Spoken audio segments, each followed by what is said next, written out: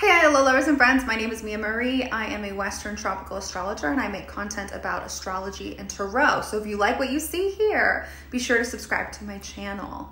Now, today I'm going to be talking about the full moon in Capricorn. This full moon is beautiful because it brings all of our karma out on the table and we're able to look at how far we've come in a particular situation. This full moon takes place on July 3rd, 2023 at 4:49 a.m. The sun is in the second decan of Cancer, which translates to 2 of cups energy, which means that you are focusing on your development and accomplishments as it relates to a one-on-one relationship. Because the sun is in the second decan, we can naturally assume that the moon is also in the second decan, but of Capricorn, which is represented by the Three of Pentacles, Mars and Capricorn energy. Mars is the most successful in Capricorn. We're thinking Steph Curry, Klay Thompson, indicating that what you're reflecting on right now and what you're working through will be considered legendary in the story of your life but you're not quite done with it yet. You're still working with it. This just marks a time where you will be celebrating the many small achievements that have delivered you to this moment. It feels like a major win for you.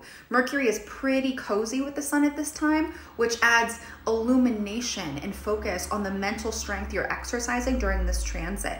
You're moving through this moment consciously, and you may feel a little less emotional about the topic than you normally would. Now, the Sun in Cancer is also conjunct Juno, which says that there is a specific partnership in your life, not romantic, that is supporting you as you grow in this area.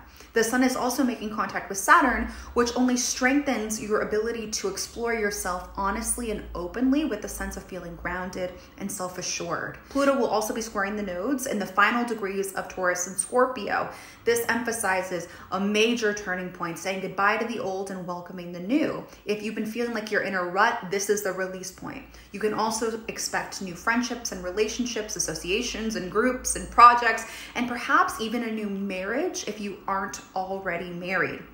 You will be exhibiting new habits, uh, projects, and you'll be incorporating new people into your life. This energy is supportive of throwing away old possessions, renovating your house, moving your business. See where in life this is happening for you.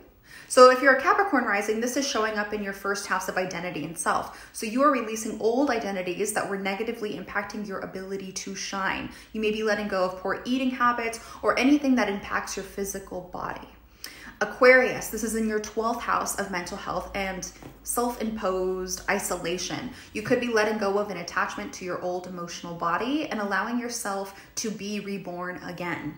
Pisces, this is happening in your 11th house of goals, aspirations, and organizations, as well as friends. So you may be putting to rest any long term goals that you had previously established that no longer align with who you are. You may also be leaving a network that you closely associated with. Aries, 10th house of career and life mission more generally, which means that you are shedding a skin as it relates to your public image. You could be leaving a job or looking for other ways to express and support your life's mission. Taurus, this triggers your ninth house of higher education and belief systems. So it looks as if you are either finishing up a degree or releasing a belief or belief system that no longer serves you and you don't endorse.